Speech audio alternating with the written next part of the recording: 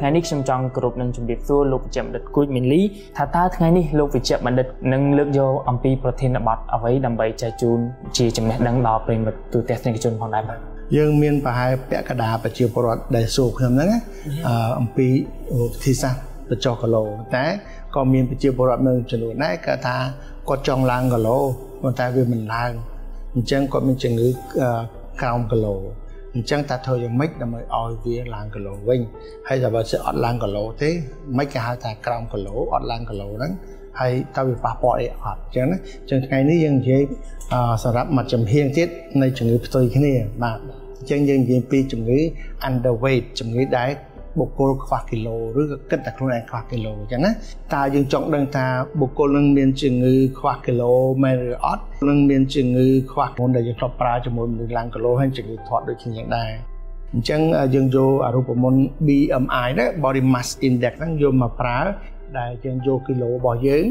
ចំនួនប្រហែលចែកនឹងកម្ពស់របស់យើងស្វ័យគុណនឹង2អញ្ចឹងណាហើយយើងអាចដឹងហើយហើយយើងដឹងថា18.5 ទៅដល់29.9អាហ្នឹងគេហៅសុខភាពល្អហើយចុះបើលើសហ្នឹងបានយើងលើសគីឡូហើយលើសហ្នឹងទៀតលើស30បានយើងហៅថាធាត់លើស40អាហ្នឹងគេធាត់គ្រោះថ្នាក់អញ្ចឹងណាចុះបើចុះគីឡូវិញ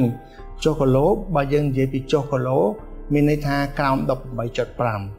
ទៅចុះខ្លាំងគឺស្គមខ្លាំងទៅតាមហ្នឹងចឹងយើងមើលតាម body mass index ហ្នឹងក៏យើងអាចដឹងដែរបាទលោកវិជ្ជបណ្ឌិតតើគេអាចធ្វើការសន្មត់ យ៉ាងដូចម្ដេចទៅថាបុគ្គលនោះគឺជាបុគ្គលដែលខ្វះគីឡូបាទបាទអឺយើងមើលដឹងហើយថាទី1គាត់យើងធ្វើតេស្តទៅឃើញតែគាត់ក្រោមលេខ18.5មក BMI ហើយជាធម្មតាគាត់តែងតែមានគេហៅថាស្គមតែលវាយអត់កម្លាំងហត់មហេតុមហេតុហើយឆាប់ងុយដេកអត់សូវមានធម៌បំពុលទាំងអស់ហ្នឹងយើងអាចដឹងថាគាត់ភាគច្រើន ពិតជាស្គរមែនអញ្ចឹងយើងអាចដឹងហើយជាទូទៅខ្លួនគាត់ផ្ទាល់ហ្នឹងក៏គាត់ដឹងខ្លួនគាត់ខ្វះអីមួយបញ្ហាអីមួយអញ្ចឹងណាបាទចំពោះបុគ្គលដែលគាត់មានជំងឺខ្វះគីឡូនេះតើគាត់នឹងប្រឈមគ្រោះថ្នាក់ចំពោះសុខភាពគាត់យ៉ាងដូចម្ដេចទៅបាទនិយាយរួមទៅខ្ញុំចង់បញ្ជាក់ឲ្យដឹងថាជំងឺធាត់និងជំងឺស្គមមានអឺការហានិភ័យស្មើគ្នាអឺបាទ ហើយដំណោះស្រាយក៏មិនសូវស្រួលដូចគ្នាអញ្ចឹងដែរអញ្ចឹងណាបាទត្រូវការអ្នកជំងឺទាំងផ្ទុយគ្នាហ្នឹងសហការជាមួយដុកទ័របានយើងអាចជួយបានប៉ុន្តែកត្តានឹងនាំឲ្យប៉ះទង្គិចបាទធ្វើឲ្យអ្នកជំងឺហ្នឹងមានផលប៉ះពាល់បើយើងមិនព្យាបាលជំងឺស្គមរ៉ាំរ៉ៃរបស់គាត់ទេវាអាចធ្វើឲ្យគាត់មានគេហៅថាពុកឆ្អឹងបាទពុកឆ្អឹងដោយសារគាត់ខ្វះគេហៅខ្វះជីវជាតិមួយចំនួន អញ្ចឹងធ្វើឲ្យគាត់ឆាប់ពុកឆ្អឹងដោយសារទី1គាត់ញ៉ាំអត់គ្រប់គ្រាន់ម្ហូបក៏អត់សូវមានជីវជាតិគាត់អាចខ្វះវីតាមីន D ឬកាល់ស្យូមអញ្ចឹងនេះជាកត្តាដែលអាចធ្វើមាន osteoporosis បាទប៉ុន្តែបើការឡើងធាត់វិញគឺគាត់មានជំងឺ osteoarthritis វាខុសគ្នាអាហ្នឹងគឺឈឺកលៈដៃកលៈជើងហើយឈឺរលាកឆ្អឹងពុកឆ្អឹងណាបាទអញ្ចឹង osteoporosis ដោយសារគាត់ខ្វះជាតិកាល់ស្យូមហើយនិង វីតាមីន D អញ្ចឹងទាំងអស់នេះធ្វើឲ្យឆ្អឹងគាត់នឹងផុយស្រួយធ្វើកញ្ចក់គាត់នឹងឆាប់ងាយបាក់ហើយធ្វើអសក់គាត់ក៏ក៏ឆាប់ងាយនឹងចា pre-roll បាត់ឆាប់ងាយស្រួយដែរបាទអញ្ចឹងគេតាដែលធ្វើបាតុកិច្ចមួយទៀតផងដែរនឹងបាតុកិច្ចដល់ប្រព័ន្ធការពារគាត់ជាធម្មតាបើយើងហួសគីឡូប្រព័ន្ធការពារយើងក៏ចុះថយដែរព្រោះយើងអត់សកម្ម ប៉ុន្តែបើយើងខ្វះគីឡូប្រព័ន្ធការពារយើងក៏ចុះដែរពីព្រោះអត់សូវមានធម៌ពលដើម្បីបំពន់ប្រព័ន្ធការពារយើងអឺយើងឃើញបើណាស្គមហើយមិនសូវញ៉ាំបន្លែឬផ្លែឈើខ្វះជីវជាតិដូចវីតាមីន C អញ្ចឹងធ្វើប្រព័ន្ធការពារក៏ចុះព្រាមអញ្ចឹងក៏អាសាឈឺបើយើងវះកាត់មិនងាយជាបើយកគាត់ផ្ដាសាយយើងមិនងាយជាហើយរ៉ាំរ៉ៃចឹងអាប្រព័ន្ធការពារគាត់ចុះថយអាដំបៅអាឈឺអាបញ្ហាអីផ្សេងផ្សេងវានឹងមកឡើងលឿន ចឹងណាបាទហើយបើយើងមានរោគ HIV វានឹងឆ្លងទៅ AIDS លឿនយើងដឹង HIV គឺជារោគដែលនឹងឆ្លងទៅកើត AIDS អញ្ចឹងភាគច្រើនគេឲ្យឆ្នាំយើងដើម្បីបន្លាងប្រព័ន្ធការពារយើង cell យើងអញ្ចឹងណាចុះប៉ុន្តែបើយើងធ្ងន់ធ្ងរទៅអានឹងប្រព័ន្ធការពារយើងចុះមានរោគទាំងអស់បាយចូលមកហើយអានឹងយើងឆ្លងទៅ AIDS ទេអចឹងជាបញ្ហាហ្នឹងហើយគេពជាឲ្យ HIV ហ្នឹងកុំឲ្យឆ្លងទៅ AIDS ហ្នឹងដោយថាបង្រើប្រព័ន្ធការពារគាត់អញ្ចឹង ភាពជាស្គមមិនប្រក្រតីហ្នឹងគឺនឹងធ្វើឲ្យគាត់មានការខ្សោយនៅប្រព័ន្ធការពារគាត់ហ្នឹងហើយដូចខ្ញុំនិយាយអញ្ចឹងក៏មានបញ្ហាទៅលើការមានកដែរភាពស្គមរ៉ាំរ៉ៃបាតកិច្ចប្រព័ន្ធការពារគាត់ធ្វើឲ្យឆ្អឹងគាត់បាក់ប៉ុន្តែគាត់ធ្វើឲ្យការមានជីវិតមានករបស់គាត់ក៏មានភាពទន់ខ្សោយដែរ យើងឃើញមនុស្សរ៉ាំរ៉ៃមួយស្គោពីច្រើនគឺកម្រមានកូនពិបាកណាស់ចឹងណាបាទអញ្ចឹងអ្នកធាត់ក៏ពិបាកមានកូនអ្នកស្គោក៏ពិបាកមានកូនហើយថ្មិញក៏មានបញ្ហាសក់ក៏មានបញ្ហាកញ្ចក់ក៏មានបញ្ហានិយាយរួមទៅគឺថាស្បែកគាត់នឹងក៏ក៏ស្ងួតក្រើមក្រើមហើយសក់គាត់អាសាររុះបាត់ទៀតអញ្ចឹងណាបាទអាសាររុះសក់ទៀតបើនិយាយរួមទៅគឺថាមានបញ្ហាគ្រប់ប្រភេទហើយយើងឃើញថាបុគ្គលហ្នឹងគឺអាសាឈឺឈឺញឹកញាប់អឺ គេយូរយូរមិនងាយឈឺទេបើតែឈឺឈឺម្ដងម្យាមណាប៉ុន្តែចំពោះអ្នកគាត់ញ៉ាំគ្រប់គ្រាន់ណាយើងឃើញទីទីគាត់កោះខ្យល់ទីទីគាត់ជុំក្បាលទីទីគាត់ដាក់កៅអីទីប្រេងខ្យល់គាត់ឈឺជាប្រចាំរ៉ាំរ៉ៃហើយមិនមែនគាត់ត្អូនត្អែងអួយទេគឺដោយសារគាត់ខ្សោយប្រព័ន្ធការពារនឹងឯងតែខ្សោយប្រព័ន្ធការពារអ្វីៗឆាប់វាយលុបតែវាយលុបគឺមានន័យថាគាត់នឹងឈឺញឹកញាប់ ហើយបុគ្គលអញ្ចឹងអញ្ចឹងដល់ពេលគាត់ទៅដល់ស្ថិតិអភិវឌ្ឍណាគាត់លែងឈឺហើយបាទគាត់ញ៉ាំគ្រប់គ្រាន់គាត់ពោពេញដោយជីវជាតិជាតិ folic acid ក៏មានជាតិដែកក៏ពេញដល់ពេលអញ្ចឹងវីតាមីនទូទៅក៏គ្រប់គ្រាន់អញ្ចឹងគាត់អត់ខ្វះអីទៀតទេអញ្ចឹងអាអាស្គមស្លេកស្លាំងអាលហត់លហេវខ្សោះខ្សោះអស់កម្លាំងងើបឡើងវិលមុខអីអស់ហ្នឹង ហើយអត់ធម្មពលហ្នឹងវាបាត់ឯងដោយសារការញ៉ាំចូលរបស់គាត់វាពេញលេញឡើងវិញតែពេញឡើងវិញគឺប្រព័ន្ធការពារយើងខ្លាំងអញ្ចឹងបានគេធ្វើអីក៏ដោយគេធ្វើម៉េចកុំឲ្យវាប៉ះទង្គិចហើយប្រព័ន្ធការពារយើងចុះពេលយើងមនុស្សចាស់មនុស្សចាស់គឺប្រព័ន្ធការពារចុះហើយក្មេងទូចក៏ប្រព័ន្ធការពារចុះដែរអញ្ចឹងគេប្រយ័ត្នទាំងពីរមិនត្រឹមតែប៉ុណ្្នឹងទេគាត់មានអារម្មណ៍ថាគាត់ហត់ពេញមួយថ្ងៃរាល់ថ្ងៃមានអារម្មណ៍ថាគាត់រស់នៅដោយអត់មានធម៌ពលណាបាទ ហើយមនុស្សយើងទៅហត់អត់មានធម៌ពលហាក់បីដូចជាកម្លាំងការរស់ស៊ីធ្វើការសបាយក្នុងជីវិតដូចអត់មានន័យទេអញ្ចឹងយើងឃើញតែខ្លះមុខស្អុយស្អុយមុខជូជូរ៉ាំរ៉ៃដូចមិនស្រស់មិនព្រមប្រៃហើយគាត់មិនសូវប្រកួតប្រជែងគាត់មិនសូវចូលរួមឈ្នានេះគាត់មិនទៅចូលរួមការប្រកួតធ្វើអីទាំងអស់គាត់មានអារម្មណ៍ថាហត់ណាដូចអត់អត់មានកម្លាំងមិនចង់កោតចូលរួមចង់ប្រកួតប្រជែង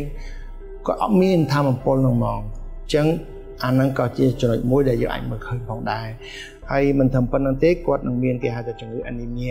ជំងឺអានីមៀហ្នឹងគឺជំងឺខ្វះមេឈាមមានន័យថាជំងឺខ្វះឈាមអញ្ចឹងណាហើយខ្វះគ្រាប់ឈាមហើយខ្វះគ្រាប់ឈាមដោយសារគាត់ញ៉ាំចុកអត់គ្រប់គ្រាប់អត់គ្រប់គ្រាន់វាខ្វះជាតិនេះជាតិនេះហើយខ្វះជាងគេគឺខ្វះ forest sulfate forest sulfate ហ្នឹងគឺជាតិដែកនឹងឯងដែលជារូបមន្តមួយដែលនាំអុកស៊ីហ្សែនកាន់អុកស៊ីហ្សែន4ណា ដៃមួយកាន់អុកស៊ីហ្សែន4ទៅចូលអឺកសិកាដុំអីចឹងណាបាទអញ្ចឹងបើយើងអត់មានគ្រប់ជាតិដែកគឺភាគច្រើនយើងខ្វះគ្រាប់ឈាមនឹងឯងអញ្ចឹងណាបើអត់មានដែកគ្រប់គ្រាន់ដើម្បីទទួលយកឈាមអុកស៊ីហ្សែន44ហ្នឹងណាដើម្បីបញ្ចូលទៅក្នុងកសិកាហ្នឹងអញ្ចឹងអញ្ចឹងអានីមៀហ្នឹងក៏វាធ្វើឲ្យយើងវិលមុខញឹកញាប់តិចតិចឈឺក្បាលយើងឃើញចាស់ចាស់ស្អីស្អីជាពិសេស បន្តិចដល់ពេលគាត់ស្លាប់ស្លាប់តាមគ្នាគាត់ស្លុតទៅស្លុតទៅគាត់ស្លុតតាមតាមគ្នាដែរអានឹងមកពីខ្សោយមកពីញ៉ាំអត់គ្រប់គ្រាន់លើមើលឃើញពួកអ្នកកាត់ដេរអញ្ចឹងគេច្រើនគាត់ញ៉ាំរបស់ដែលអត់មានជីវជាតិញ៉ាំរបស់តិចតួចហើយស្គមស្ដេកស្លាំងអញ្ចឹងគាត់ឆាប់ភ័យគាត់ឆាប់ខ្សោយគាត់ឆាប់ហត់គាត់ឆាប់ស្លប់ស្លាប់គាត់ឆាប់ដួលតាមតាមគ្នាអញ្ចឹងអញ្ចឹងអាការ fatigue នឹង fatigue ដូចសោះហើយនឹងការអត់កម្លាំងការឈឺក្បាលរ៉ាំរ៉ៃ តិចជប់តិចកហ្នឹងគឺមកពីកតាអស់ហ្នឹងឯងដោយសារអានីមៀហើយទៅទៅហ្នឹងប្រជាជនអាស៊ីយើងក៏មានជំងឺពូជមួយទៀតគេហៅតាឡាស៊ីម៉ាបេរ៉ាអាហ្នឹងក៏ធ្វើឲ្យយើងខ្វះគ្រាប់ឈាមដែរដូចយើងឃើញចំណត់ពលពតអឺនារីនារីភាគច្រើនបាត់ថ្ងៃខែអស់រហូតដល់ចំពលពតអាលំហើយក៏នៅអត់មកទេឡើង4 5ឆ្នាំទៀតក៏មកបានមានព្រោះយើងតែយើងស្គមពេកខ្វះអកម៉ូនខ្វះ ជីវជាតិខ្វះអីវានឹងអកខានប្រព័ន្ធអឺ gland កំពេញរបស់យើងហ្នឹងអញ្ចឹងអ្វីៗវាអត់ដំណើរការជើងអត់ដំណើរការគឺអត់មានថ្ងៃខែអត់មានអីចឹងរាំងចឹងទៅគឺឈប់មានអកបូនឈប់មានថ្ងៃខែចឹងទៅអានេះគឺបញ្ហាមួយដែលថាធ្វើអត់មានអត់មានកូនដែរថតក៏អត់មានកូនស្គមខ្លាំងក៏អត់មានកូននេះជាបញ្ហាដែលយើងគួរយកចិត្តទុកដាក់មិនត្រឹមតែប៉ុណ្្នឹងទេអឺបើសិនជាទូទៅនារីដែលគាត់ស្គមមិនគ្រប់គីឡូហ្នឹង បើសិនជាគាត់មានគ័រភាគច្រើនកូនអត់សូវគ្រប់ចំនួនគីឡូទេហើយកើតមកមុនមុនខែខ្លួនគាត់ក៏ខ្វះជីវជាតិហើយកូនក៏ខ្វះទៀតហើយពីចឹងដល់ពេលគាត់ឆ្លងទលេកតាវះកាត់ណាគេហៅ C section វាមានហេតុផលច្រើនទី1ដោយសារម្ដាយខ្សោយអាហ្នឹងហេតុផលខ្សោយនឹងឯងដែលគេវះកាត់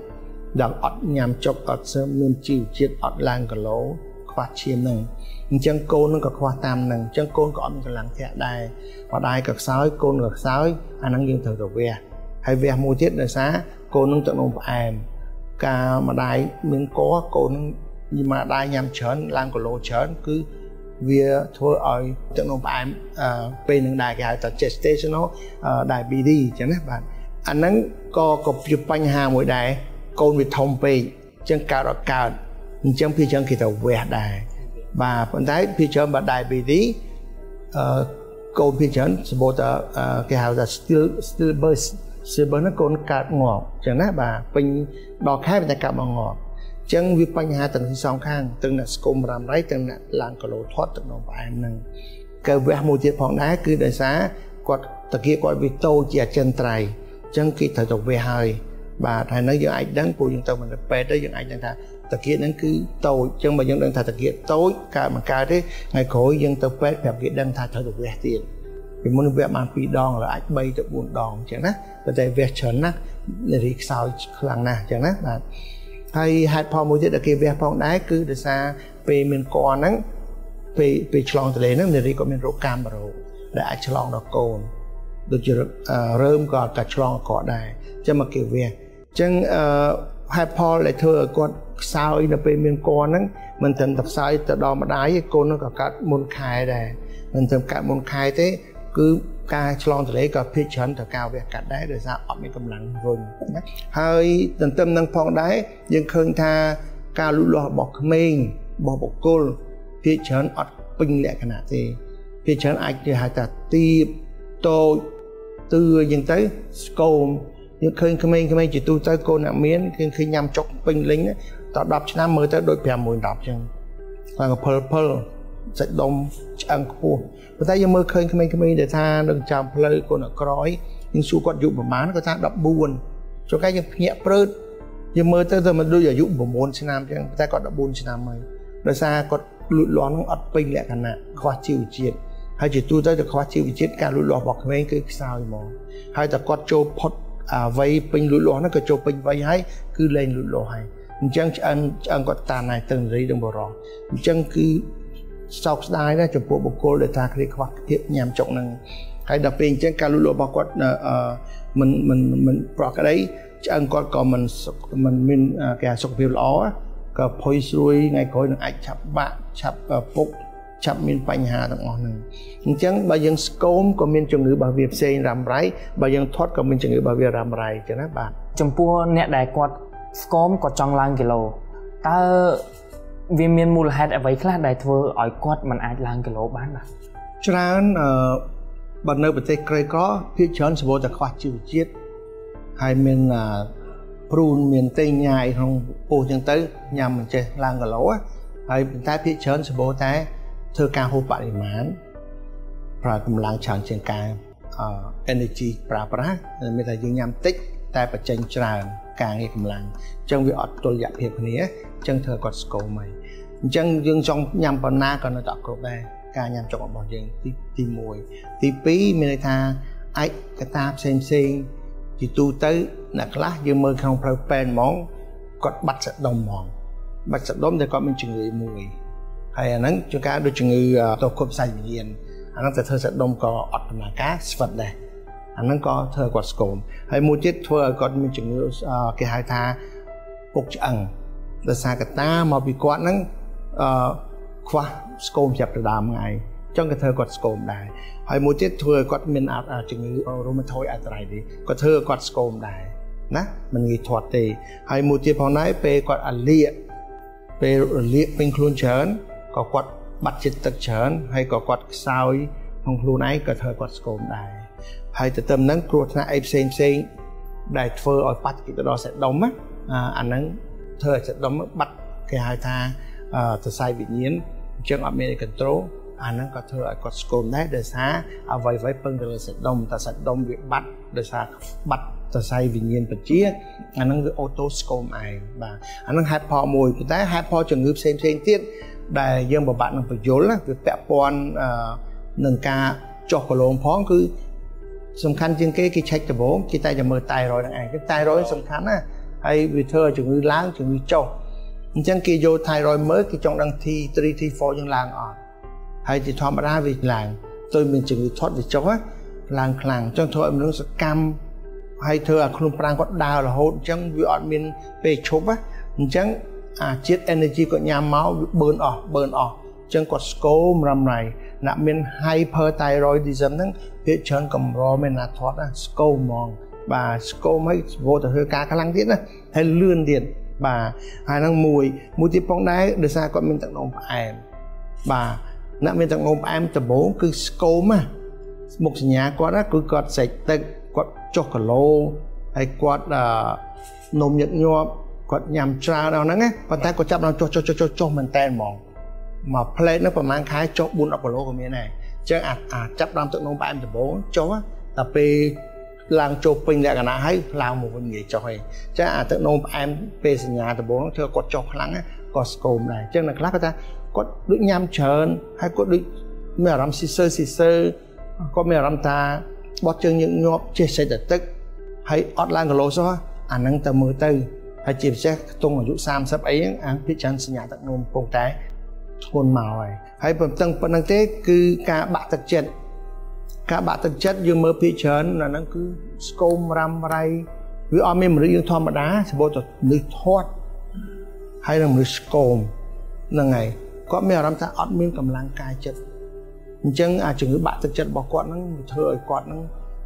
ឯកោធ្វើគាត់ហ្នឹងលងលោចធ្វើគាត់ហ្នឹងអត់មានទឹកចិត្តចង់ញ៉ាំអីញ៉ាំអីមិនឆ្ងាញ់អត់ចូលអញ្ចឹងក៏ធ្វើឲ្យគាត់មានជំងឺរ៉ាម៉ៃស្គមដែរទន្ទឹមនឹងផងដែរគឺជំងឺល្បែងធម្មតាឲ្យតែយើងកើតល្បែងគឺវាតែងតែធ្វើយើងស្គមហើយហ្នឹងជំងឺមួយទៀតគេហៅថា endocarditis endocarditis គឺថាលាកអាអាបេះដូងខាងក្នុងយើងមានមានឡាញជាងខាងក្នុងបេះដូងណាបាទវារលាកដោយសារ infection មេរោគអីមួយអាហ្នឹងក៏ធ្វើឲ្យបេះដូងធ្វើឲ្យយើងស្គមដែរអញ្ចឹងវាមានកត្តាច្រើនណាស់ដែលធ្វើយើងស្គមបើនិយាយរួមទៅហាត់ប្រាណយើងញាប់ពេកក៏យើងស្គមហើយពេលយើងមានដបៅមានអីក៏យើងស្គមយើងមានមេរោគអីចឹងហើយពងកយើងដើរដំណើរការលឿនពេកក៏យើងស្គមហើយជួនកាល gene បាទ gen របស់យើងក៏អាចធ្វើឲ្យយើងស្គមដែរបាទមួយទៀតផងដែរទឹកនោមប្រភេទទី1បាទក៏ធ្វើយើងស្គមហើយជំងឺរ៉ាំរ៉ៃអីណាមួយ ដែលធ្វើឲ្យយើងក្អួតញឹកញាប់ធ្វើយើងរាកញឹកញាប់អាហ្នឹងក៏ធ្វើយើងស្គមដែរបាទជំងឺរ៉ាំរ៉ៃខ្លះយើងអឺ side effect វាបាត់កម្មវាគឺរាកក្អួតអីចឹងណាអាហ្នឹងក៏ធ្វើចុះគីឡូលឿនដែរអញ្ចឹងណាបាទហើយមួយទៀតផងដែរអឺយើងនិយាយថាជំងឺញ៉ាំមុនយើងថាមនុស្សធាត់ញ៉ាំគឺមានជំងឺមួយគេហៅ bulimia នៅស្គមគេមានជំងឺញ៉ាំដូចគ្នាដែរប៉ុន្តែ គេហៅថា anorexia ហើយពីច្រើនធ្លាក់ទៅលើក្មេងវ័យវ័យក្មេងប្រុសក្មេងស្រីដែលចង់បានរឿងស្អាតហើយជាពិសេសនៅក្នុង high school ហ្នឹងឯងពេលគាត់ចាប់ដើមដឹងវ័យគាត់ចង់បានរៀងអញ្ចឹងគាត់អត់ញ៉ាំទេហើយពីច្រើនយូរយូរទៅអាអា nervous anorexia nervosa ហ្នឹងរោគហ្នឹងគឺអត់ញ៉ាំហ្មងទៅពេលអត់ញ៉ាំយូរទៅដូចថ្ងៃមុនគេនិយាយពីអា Salon Dion ដែលថាអ្នកចម្រៀងដ៏ល្បីមួយណាបាទគាត់អ្នកចម្រៀងតែគាត់មានអាជំងឺហ្នឹង anorexia ហ្នឹងក៏អត់ញ៉ាំស្គមសុំសតទៅស្បែកនឹងឆ្អឹងហ្នឹងហ្មងអញ្ចឹងអឺពិបាកនឹងឡើងវិញណាព្រោះគាត់មានអារម្មណ៍ថាខ្លាចនឹងគីឡូហ្នឹងហ្មងហើយគាត់ខ្លាចនឹងគាត់ស្រឡាញ់រាងកាយគាត់ស្គមហ្នឹងហ្មងរហូតតតែមានបញ្ហាហើយជួនកាលបង្កើតចេញមកពីផ្លូវចិត្តដែលគេមានការវាយប្រហារមានការទីទាញមានការគេប៊ូលីអីចឹងចឹងធ្វើឲ្យគាត់មានអារម្មណ៍នឹងដែរអញ្ចឹងជាផ្លូវចិត្តដែរទៀតអញ្ចឹងអាផ្លូវចិត្តហ្នឹងបង្កឲ្យមានបញ្ហាច្រើនណាហ្នឹងហើយបាក់ទឹកចិត្តក៏ធ្វើឲ្យគាត់ញ៉ាំឡើងមានគីឡូបាក់ទឹកចិត្តធ្វើឲ្យគាត់មានជំងឺអត់ញ៉ាំចុះគីឡូអញ្ចឹង anorexia ហ្នឹងគឺស្គមសតស្បែកយ៉ាងឆ្អឹងនេះអាហ្នឹងក៏ធ្វើឲ្យគាត់ស្គមដែរតែ anorexia ហ្នឹងគ្រោះថ្នាក់ណាស់អឺជាពិសេសបើយើងនៅសាលាវិញនៅក្មេងៗវិញបើយើងដឹងពីអ្នកជំងឺបើយើងជាពេទ្យយើងដឹងយើងអត់សូវភ័យស្លន់ស្លោឲ្យឲ្យតែពេលប្រឡងយើងឃើញហើយយើងមានសិនសុខពីម្នាក់ត្រៀមហើយ ក្មេងស្លាប់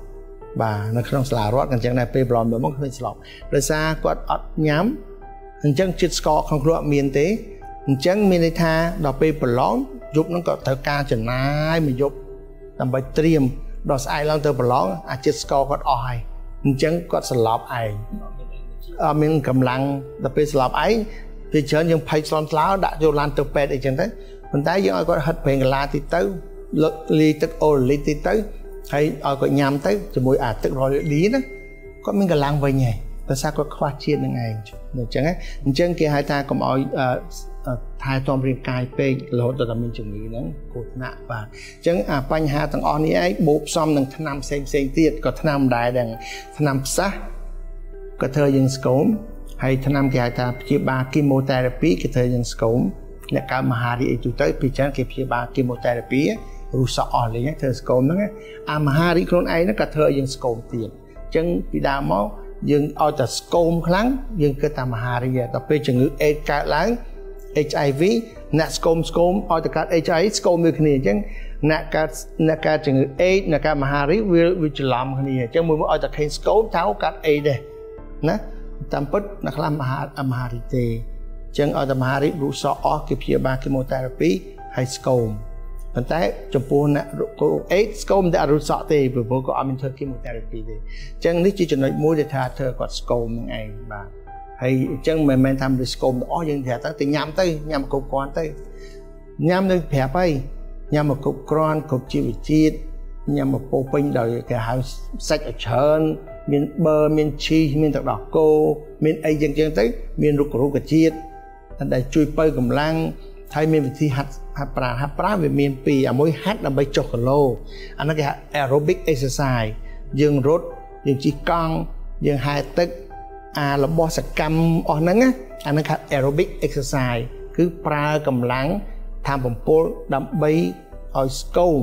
អញ្ចឹងប្រើខ្លាញ់យើងដុតដុតខ្លាញ់យើងជាកម្លាំងឯងអញ្ចឹងខ្លាញ់យើងស្រកស្រកស្រកពីព្រោះយើងយកខ្លាញ់ជាកម្លាំងតាមពលដើម្បីធ្វើការហាត់ប្រាណហ្នឹងអាហ្នឹងគេ aerobic exercise ចំពោះអ្នកស្គមវិញការហាត់ប្រាណរបស់គេ anaerobic anaerobic វិញគឺខុសពីគ្នាអត់ត្រូវប្រើអុកស៊ីហ្សែនទេអានេះគេប្រើអុកស៊ីហ្សែនច្រើនណាយើងរត់យើងអីយើងត្រូវការដកដង្ហើមច្រើនណា aerobic តែអាចំពោះអ្នកស្គមវិញគឺប្រើប្រើ exercise អឺគេហៅថា anaerobic ផ្ទុយទៅវិញហើយគេមានវិធីសាស្ត្ររបស់គេដែលថាគេប្រាប់ឲ្យយើង exercise ប៉ុន្តែគេហាមមួយពេលស្គមអញ្ចឹងកុំកុំហាត់ប្រាណដូចជា aerobic exercise ដូចជារត់ជិះកង់ហែទឹកចឹងគេហាពីព្រោះយើងនឹងស្គមលើដើមទៀតចឹងណាបាទអំបីមិញលោកវិជ្ជបណ្ឌិតបាននិយាយអំពីបញ្ហារបស់បុគ្គលដែលគាត់មានជំងឺស្គមចំពោះជំងឺស្គមរ៉ាំរ៉ៃនេះតើគេមានការព្យាបាលយ៉ាងដូចម្ដេចខ្លះទៅលោកវិជ្ជបណ្ឌិតបាទអឺចំពោះធាត់យើងព្យាបាលគឺឲ្យចាំកាត់បន្ថយរបស់ធាត់ចំពោះស្គមយើងព្យាបាលដើម្បីឲ្យញ៉ាំរបស់ធាត់ឡើងវិញ ប៉ុន្តែមិនរបស់ខ្លាញ់ទេអញ្ចឹងណាទី1របស់ដែលពោពេញដោយប្រូតេអ៊ីនហើយប្រូតេអ៊ីនយើងដឹងហើយសណ្តែកក៏ប្រូតេអ៊ីនសាច់ក៏ប្រូតេអ៊ីនពងមាន់ពងទាក៏ប្រូតេអ៊ីនយូហ្គើតក៏ប្រូតេអ៊ីនញ៉ាំមកច្រើនទៅបាយក៏ប្រូតេអ៊ីនដលងក៏ប្រូតេអ៊ីនបើញ៉ាំមិននឹងច្រើនគឺឡើងគីឡូហើយអញ្ចឹងណាបាទប៉ុន្តែសំខាន់គឺថាពួកគាត់មួយចំនួនគាត់ជីវភាពគាត់ក្រីក្រគាត់ខ្វះថវិកាអញ្ចឹងគាត់ទិញមាំជាហៀងមកគ្រួសារអញ្ចឹងឆាលីអញ្ចឹងវាអត់មានជាតិប្រូតេអ៊ីននៅក្នុងនោះទេ អញ្ចឹងគាត់ញ៉ាំតែបាយ carbohydrate អញ្ចឹងវាទប់អត់ឈ្នះអញ្ចឹងគាត់ទៅញ៉ាំអាប្រូតេអ៊ីនឲ្យបានច្រើនហើយដូចខ្ញុំនិយាយមិញហ្នឹងសាច់ហើយសណ្ដែកយូហ្គើតទឹកដោះគោទាំងអស់ហ្នឹងសិតជាតិប្រូតេអ៊ីនទី1ទី2គាត់ត្រូវការហាត់ប្រាណបញ្ចេញសាច់ដុំពីព្រោះតើសាច់ដុំគាត់អឺអត់មានអានឹងគាត់ចុះគីឡូហើយស្គមអញ្ចឹងគេហាត់ប្រាណមិនកុំឲ្យកុំឲ្យចុះខ្លាញ់តែបន្លាងខ្លាញ់បន្លាងសាច់ដុំឡើងវិញអញ្ចឹងហាត់ប្រាណគឺគេមាន anaerobic exercise anaerobic exercise ហ្នឹងគឺទី1គេធ្វើ push up អាហ្នឹងជួយឡើងសាច់ដុំហ្នឹងហើយធូរដៃហើយទី2គេធ្វើ sit up បាទអាហ្នឹងគឺឡើងសាច់ដុំពោះហើយហ្នឹងណាបាទយើងដាក់ដៃគេមកដាក់ជើងកុំក្រែង sit up អញ្ចឹងណាបាទហើយទី3គេធ្វើហាត់ប្រាណគឺ pull up ហ្នឹងណាបាទ ហើយតមកវិញគេធ្វើយើងដេកនៅលើ bench គេ bench press យើងលើកអាស្អីដាច់អ៊ីតែនោះបិនប្រេះបាទលើកដើម្បីឡើងសដុំនឹងទូងយើងហើយគេធ្វើមួយទៀតគេហៅថាឡាំងឡាំងអាហ្នឹងគេយកយកជើងយើងដាក់ជើងទៅមុខដាក់ជើងទៅក្រោយហើយពុតដាក់ទីខ្លួនចុះណាបាទហ្នឹងគេហៅឡាំងហ្នឹងគេហាត់ប្រាមួយដាច់ហ្នឹងវិធីសាស្ត្រដើម្បីបឡើងសដុំចឹងណាបាទហើយមួយទៀតផងដែរគេថា squat squat យើងដូចយើងអង្គុយចောင်ហោងចឹងណា ប៉ុន្តែយើងអង្គុយពាក់កដាលទេហើយយើងអង្គុយចឹងហើយងើបអង្គុយចឹងហើយងើបដាក់ចិត្តដៃយើងនៅចំលើឆ្កេះហើយអង្គុយទៅចောင်ហោងចឹងអង្គុយឈរងើបឈរងើបអាហ្នឹងគេ squat exercise ប្រឹងស្ដុំកផ្លៃកពុនជើងបាទហើយការហាត់ប្រាមួយទៀតគេហៅថា overhead press បាទ overhead press គឺយើងលើកដៃទៅលើវិញអញ្ចឹងណាបាទអញ្ចឹងមានប្រហែលជា5 6ហាត់ប្រានដែលថាធ្វើឲ្យយើងឡើងសេះដុំហើយការឡើងសេះដុំគឺឡើងគីឡូហើយអញ្ចឹងណាបាទហើយបើយើងញ៉ាំ protein ច្រើនឧទាហរណ៍យើងញ៉ាំរបស់ដែលពោពេញទៅ protein យើងញ៉ាំម្ហូបដែលជាគេហៅថាប្រាំបាយជូរស្ងួតការញ៉ាំក្រូចរម៉ើផ្លែឈើផ្អែមផ្អែមមកហ្នឹងណាវាមានជីវជាតិខ្លាំងពោពេញដែលមានប្រព័ន្ធការពារក៏ប៉ុន្តែវាជួយឡើងគីឡូបាទហើយញ៉ាំទឹកក្លុកទឹកបឺក្លុកបាទអាហ្នឹងក៏ជួយដែរហើយញ៉ាំកៅរបស់ដែលមាន avocado របស់ដែលមាន cheese របស់ដែលនំប៉័ងរបស់ដែលមាន carbohydrate ជាតិ protein ច្រើនអាហ្នឹងក៏ធ្វើយើងឡើងគីឡូដែរហើយមួយទៀតផងដែរទឹកដោះគោយើងនៅក្មេងអញ្ចឹងឬក៏យើងស្គមអញ្ចឹងទឹកដោះគោវាមានអា whole milk និង fat ថាយើងធាត់ណា whole milk មួយគេថា2% fat អាធាត់តែ2%ទេអាមួយគេថា low fat អត់មានធាត់ទេអញ្ចឹងចំពោះអាស្គមយើងយកអាទៅដោះគោដែលមានកំប៉ុងវាពណ៌ទឹកប៊ិចក្រាស់ ម៉ែទឹកប៊ិចដើមផ្ទៃមេឃទឹកប៊ិចក្រាស់ហ្នឹងហូមមានគេនឹងជាតិធាត់អញ្ចឹងយើងអាសាញ៉ាំទៅដោះគោអញ្ចឹងហើយបើញ៉ាំទៅដោះគោវាជួយទាំងឆ្អឹងទៀតមិនមែនតែជួយសុខភាពឲ្យឡើងមាំទេជួយទាំងឆ្អឹងយើងទៀតហើយគេងឲ្យស្ងប់អ្នកស្គមនិងអ្នកថត់ដោយសារគេអត់ស្ងប់ហើយគេស្ងប់ដោយសារបញ្ហាផ្លូវចិត្តបញ្ហាផ្លូវចិត្តដោយសារបញ្ហាគ្រួសារបញ្ហាគ្រួសារដោយសារបញ្ហាសេដ្ឋកិច្ចបញ្ហាសេដ្ឋកិច្ចដោយសារបញ្ហាសង្គម អញ្ចឹងវាដេញទៅគ្នាអញ្ចឹងអញ្ចឹងអ្នកមានរោគនីមួយៗវាពាក់ព័ន្ធទាំងអស់បើយើងចង់ដោះស្រាយបញ្ហាផ្លូវចិត្តយើងដោះស្រាយបញ្ហាគ្រួសារចង់ដោះបញ្ហាគ្រួសារគឺដោះបញ្ហាថវិកាដោះបញ្ហាថវិកាដោះបញ្ហាសង្គមការងារដល់អញ្ចឹងវារោគទាំងអស់ហ្នឹងចុះឡើងចឡើងវាដោះស្រាយចេញបើដោះស្រាយចេញមនុស្សយើងអត់មានជំងឺទៀតទេដែលលក់ស្រួលហើយឡើងគីឡូវិញហើយ ក៏ប៉ុន្តែរហងៃវាដោះស្រាយចេញជាងមនុស្សយើងគិតរហូតតែគិតរហូតដេកមិនលក់ទេក៏ស្កាយយើងវាដើរតែដើរដោយម៉ាស៊ីនអញ្ចឹងវាក្តៅបើក្មួយឯងចាំបច្ឆេះម៉ាស៊ីនចោល24ម៉ោង24បនតែ2ម៉ោងមើលតែប៉ះមិនមិនឡោកដៃគូក្បាលក៏ស្កាដូចគ្នាតែយើងគួយគិតគិតគិតគួរស្កាវាក្តៅក្តៅវាអត់សម្រាប់អីវាចំណាយពេល2ម៉ោងត្រជាក់ទៅវិញហើយបានវាស្ងប់ហើយបានវាគេងអញ្ចឹងបានគេថាអឺកុំគិតច្រើនបាទ តែគិតច្រើនគឺនាំទៅពិបាកគេងទេដូច្នេះហើយយកទៅដោះគោមួយកែវមកទៅដោះគោឆៅយើងហ្នឹងយកទៅដាក់ក្នុងក្នុងឆ្នាំងកណ្ដៅវាឲ្យចិត្តពុះបាច់ពុះឲ្យចិត្តពុះហើយយើងយកមកអង្គុយញ៉ាំទៅផុតដុតតែក្តៅក្តៅអញ្ចឹងអស់មួយកែវហ្នឹងសើដាក់គេងបាត់ហើយអញ្ចឹងណាបាទអាហ្នឹងគឺងាយស្រួលគេងណាបាទហើយទាំងអស់ហ្នឹងហើយដែលថាធ្វើឲ្យយើងឆាប់ឡើងគីឡូ ហើយញ៉ាំរបស់ដែលថាណាក្រែងដែលថាគុំចម្រាញ់បាទអញ្ចឹងណាហើយទឹកឲ្យបានច្រើនមួយថ្ងៃឲ្យហើយក៏បាន1លីត្រខ្លះទៅ2លីត្រទឹកសំខាន់ណាព្រោះខ្លួនយើង75 80%សិតទឹកបើយើងអត់មានទឹកទេយើងមានរោគច្រើនទៀតដែលគ្រាប់និយាយអញ្ចឹងណាទាំងរូងភ្នែកទាំងឆាប់ចាស់ទាំងប្រមាត់ទាំងគ្រោះទាំងកំរងនោមទាំងមហារីរុងពូត ទាំងអស់បាទជាងសិទ្ធិបញ្ហាអញ្ចឹងសំខាន់បំផុតជាងគេនោះគឺគេងឲ្យស្ងប់នឹងឯងហើយផ្ទុយពីនឹងទៅទៀតគឺថាកុំជក់ណាក់ជក់គឺស្គមអ្នកផឹកគឺធាត់បាទអញ្ចឹងជំងឺអ្នកធាត់ពីចឹងក៏ផឹកវិញ្ញាច្រើនជំងឺអ្នកស្គមពីចឹងក៏ជក់ជក់បរិយច្រើនអញ្ចឹងពីនឹងដូចផ្សំគ្នាឆ្វេងដៃអញ្ចឹងណាបាទនេះជា high pol ដែលធ្វើគាត់ស្គមហ្នឹងអញ្ចឹងបើគាត់ស្ដាប់ទាំងអស់ហ្នឹង high pol ហ្នឹង គាត់ព្យាយាមញ៉ាំរបស់ដែលមាន protein ច្រើនគាត់ព្យាយាមញ៉ាំទឹកឲ្យបានល្អបានច្រើនហាត់ហាត់ប្រាណបានសមរម្យដើម្បីបលាំងសេះដុំហើយគាត់ធ្វើយ៉ាងម៉េចក៏ដោយញ៉ាំរបស់របរដែលដែលគេហៅថាមានជាតិប៊ឺមានជាតិត្រកូលមានជាតិជីសអស់ហ្នឹងហើយហាត់ប្រាណតាមក្បួនដែលប្រឡាំងសាច់ដុំហ្នឹងបាទអានឹងជួយគាត់ច្រើនហើយហើយបើគាត់ថាគាត់ញ៉ាំចូលទេក៏អត់ឃ្លានជាធម្មតា ដាក់ទៅ multivitamin នៅទិញ multivitamin មកដបមកបាទអញ្ចឹងយើងញ៉ាំថ្ងៃមួយគ្រាប់ថ្ងៃមួយគ្រាប់ទៅញ៉ាំហ្នឹងទៅធ្វើយើងមានកម្លាំងធ្វើយើងឃ្លានណាបាទហើយជួនកាលយើងដាក់ B complex មួយគ្រាប់មើលយើងទិញ B complex 10គ្រាប់សាកមើលមើលដាក់មួយថ្ងៃមួយគ្រាប់ថ្ងៃគ្រាប់ធ្វើយើងគេងលក់ស្រួលស្ងប់ចិត្តហើយឃ្លានបាយទៀតញ៉ាំចូលអញ្ចឹងអ្នកស្គមស្គមពីច្រើនទៅដល់ស្រុកអាមេរិកដាក់ទៅ Centrum ឲ្យគាត់ multi vitamin ណាដាក់ឲ្យគាត់ទៅ4 10គ្រាប់